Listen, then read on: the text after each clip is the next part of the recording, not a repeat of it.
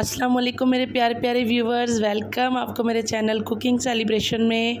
दोस्तों, आज मैं लेके आई हूँ सेब के मुरब्बे की रेसिपी और इसकी फरमाइश मुझसे मेरे पापा ने की। मैंने उन्हें बोला कि आप जो है वो मेरी वीडियो में कमेंट करें तो उन्होंने मुझे कॉल पे कहा कि नहीं, मैं ऐसे ही तुम्हें कह रहा हूँ तो तुम वो बना दो। बाप और बेटी का रिश्ता ही बहुत प्यारा होता है।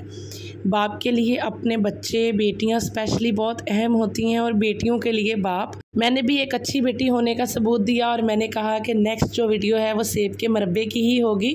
तो बाप बेटे की प्यार की कहानियाँ मैंने सुना दी हैं। अब हम चलते हैं अपनी रेसिपी की तरफ़। रेसिपी के लिए सबसे पहले मैंने ले लिए हैं वन के जी एप्पल आप उससे ज़्यादा भी ले सकते हैं। मेरे तकरीबन वन के जी के करीब थे। और घर में जो हमारे कप होते हैं, चाय वाले सिंपल, वो कप आप, अगर छोटा कप है आपके पास तो आप दो कप लें। मेरे वाला जो कप है, ये मग है, थोड़ा बड़ा है तो ये मैंने एक ही लिया है। तो पानी जो है, वो भी हम पास रख लेंगे। ज़रूरत की चीज़ें सारी मैंने इकट्ठी कर ली हैं। यहाँ पर मैंने कुछ सिंपल से इंग्रेडिएंट्स लिए हैं, जो सेब के मरबे में इस्तेमाल होंगे। इंशाल्लाह डिटेल रेसिपी आपको मैं दूँगी। जो स्किप नहीं करनी आपने, पूरी देखनी है। यहाँ पे मैंने एक छोटा सा लीमू का टुकड़ा लिया है, एक चुटकी काली मिर्च, एक चुटकी नमक और दो से तीन हम लौंग लेंगे और चंद छोटी इलायचियाँ लेंगे। चलते हैं, हम अपनी रेसिपी को आगे शुरू करते हैं। सबसे पहले सेब को हमने छील लेना है। कोशिश करें आपके छोटे छोटे सेब लें। मैंने भी छोटे छोटे एप्पल जो हैं, उनको ले लिया था। अगर आपको इनसे भी छोटे मिले तो वो बिल्कुल बेस्ट ऑप्शन है। अगर बड़े भी मिलें तो उसकी भी कोई मसला नहीं है, उसका भी हल है हमारे पास, उसको हम कट कर लेंगे सेंटर से। मुझे अपने एप्पल भी थोड़े से बड़े लग रहे थे तो मैंने इन्हें सेंटर से कट करके इसके दो हिस्से कर लिए हैं। इससे जो है मुरब्बा अच्छे से बनेगा और अंदर तक जो है इसके जूस जाएगा। ज़्यादा बड़े बड़े साइज़ के हम नहीं लेंगे। अगर छोटा आपको मिल रहा है तो आप उसको जस्ट साबत छीलोगे और अगर आपको बड़े साइज़ का मिल रहा है तो आप उसको जिस मर्ज़ी शेप में अपने कट कर सकते हैं एप्पल को। इसमें कोई भी इतनी बड़ी बात नहीं होगी। सेब जो है, उसको जिस भी शेप में काटेंगे, बनेगा वो मुरब्बा ही।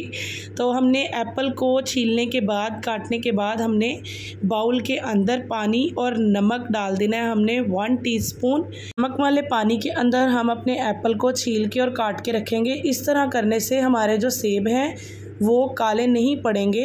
लास्ट सेब तक जब हमने छीलना और काटना है तो सेब जो है वो तो पड़े पड़े जो है वो काले हो जाएँगे। तो अगर आप नमक वाले पानी के अंदर अपने कटे हुए एप्पल को रखेंगे तो वो काफ़ी अरसे तक लॉन्ग लास्टिंग जो है वो ब्लैक नहीं होगा, एक दो घंटे तक। यहाँ पे हमने जितने एप्पल का मुरब्बा बनाना था, वो हमने छील के एप्पल रेडी कर लिए हैं। अब हम एक बर्तन लेंगे। उसके अंदर, नमक वाले पानी के अंदर से सारे सेब निकाल के हम बर्तन के अंदर रख देंगे। आप देख सकते हैं कि सेब का कलर बिल्कुल भी चेंज नहीं हुआ। अब हमने जितना हमने, मैंने आपको चीनी बताई थी, एक बड़ा कप। अगर आपके घर में जो छोटे चाय वाले कप है तो वो दो लेंगे। उतना ही हमने इसके अंदर पानी ऐड कर देना है। यानी कि जितने चीनी है, उतना ही पानी।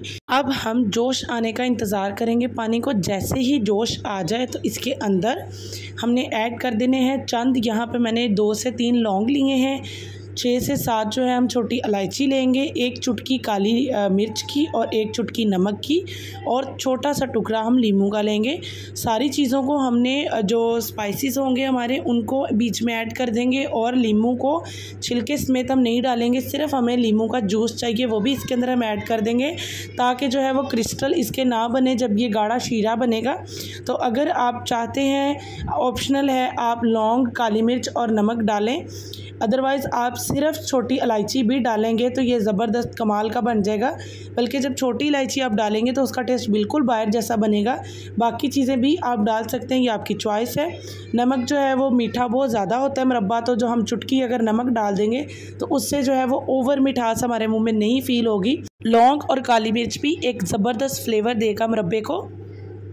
सारी चीज़ों को हमने यहाँ पे ऐड करके लीमू का रस जो है वो निचोड़ देना है और इसको पकने के लिए हमने रख देना है तकरीबन 20 से 25 मिनट के लिए हाई फ्लेम पर, मीडियम हाई फ्लेम पर हम इसे कुक करेंगे और इंतज़ार करेंगे शीरे के गाढ़े होने तक। यहाँ पर हमारा जो मुरब्बा है, वो तैयार होने के करीब है। 20 मिनट हम इसको पका चुके हैं और काफ़ी हद तक जो है हमारा शीरा गाढ़ा हो गया है। उसे तीन मिनट और पकाने के बाद हमारा रिज़ल्ट चेक करें ज़रा।